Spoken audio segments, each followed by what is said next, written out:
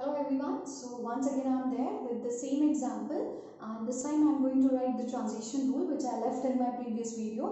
तो जहाँ मैंने छोड़ा था और बोला था कि मैं आपको transition rule बताऊँगी कैसे लिखना है तो मैं वही transition rule इस में आपको बताऊँगी कि आप कैसे लिख सकते हो using this diagram and the stack operation that we have discussed in our previous video तो हमने जो तीन स्टेप्स लिए थे कि ए के साथ हम ए को स्टैक वन में पुश करेंगे बी को हम स्टैक टू में पुश करेंगे ए को पॉप आउट करेंगे और स्टैक जब हम सी इनपुट को रीड करेंगे तो हमें स्टैक टू से डी को पॉप आउट करना है।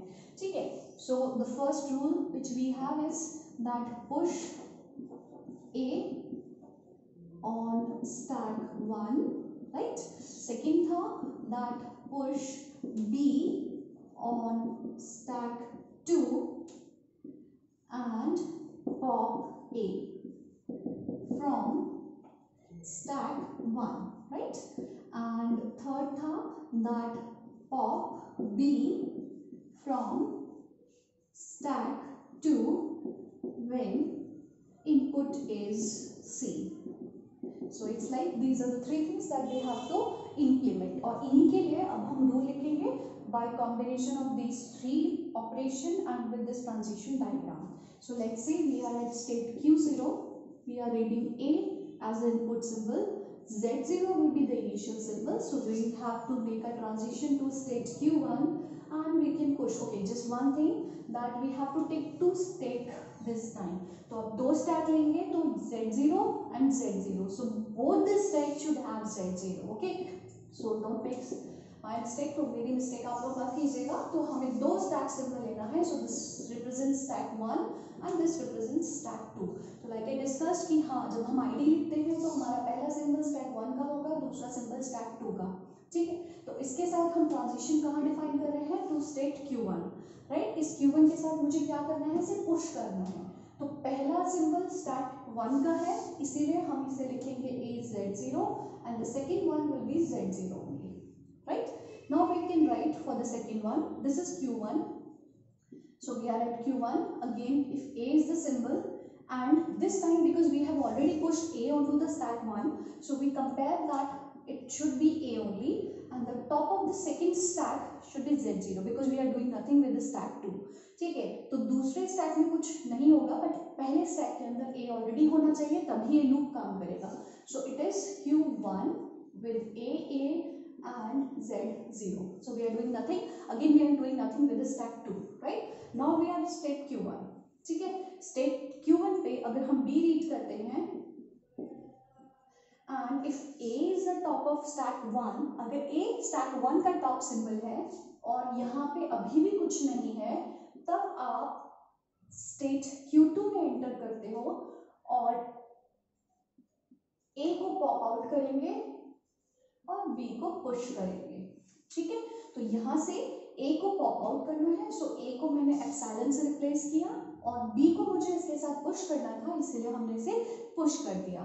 Again if we are at state Q two we are having B again again I am having A and this time because B is already pushed on to the stack for more number of Bs तो इसके लिए condition होनी चाहिए कि यहाँ पे already B है। तब हम नेक्स्ट ट्रांजिशन परफॉर्म करेंगे and this is loop actually so we can keep it at the same state and pop out and it is B and B right now are at state Q two and when we read C right तो आपका पहला stack खाली होगा। तो पहला stack गया तो Z zero बचेगा तो जेड ज़ीरो होना चाहिए। ठीक है? अगर एक भी ए बचा है तो आप इस ट्रांजिशन को परफॉर्म नहीं कर पाओगे। एंड डेफिनेटली अगर एक भी ए बचा है तो इसका मतलब ये हुआ कि बी और ए की क्वांटिटी इक्वल नहीं है। राइट तो हम ट्रांजिशन तब करेंगे जब ए और बी बराबर होंगे और ए पॉप आउट हो चुका होगा तो आप जेड ज़ीरो के थ्रू ही बचोगे। तो आप जेड ज़ीरो है और सेकेंड स्टैक में मेरे पास बी है। तब हम ट्रांजिशन लेंगे क्यू थ्री के लिए। Q3 के साथ पहला स्टैक मेरा Z0 रहेगा बट दूसरे स्टैक में मैं पॉप ऑपरेशन परफॉर्म करूँ। ठीक है? तो हम दूसरे स्टैक में पॉप अप्लाई कर रहे हैं, लेकिन पहला स्टैक हम एज इट इज़ रखेंगे। Now when we are at state Q3 for this transition it is symbol C again it is Z0 it is B then we can again apply that keeping stack 1 simple as it is but popping out the stack two symbols तो b को pop out करेंगे so once you reach to this one then you can write the next transition rule when we are at state q3 we are left with nothing so मेरे पास अभी कुछ भी नहीं बचा है ना a ना b ना c i'm done with the string and i'm having z0 as the top of the stack, in both the stack 1 and 2 तो आप एक फाइनल स्टेट बनाओगे Q4 जहाँ पे आप Z0 और Z0 रखते हो। ठीक है? So these are the set of transition rule which we can define for two stack PDA तो टू स्टैक पीडीए में हम एक साथ दोनों स्टैक पे अप्लाई कर सकते हैं। ऐसा नहीं है कि मुझे एक बार में एक ही पे अप्लाई करना है। तो this example this is something like कि हाँ मैं एक बार में एक ही जगह अप्लाई कर रही हूँ। बट दो ऑपरेशन फिर भी हम परफॉर्म करें कि एक को तो हम स्किप कर रहे हैं, दूसरे में हम पुश या पॉप अप्लाई करते हैं। तो आप एक बार में दोनों से पुश या पॉप भी अप्लाई कर सकते हो, ये भी एप्लीकेबल है इज़ नॉट लाइक कि हम एक बार में एक ही ऑपरेशन परफॉर्म करें। ठीक है?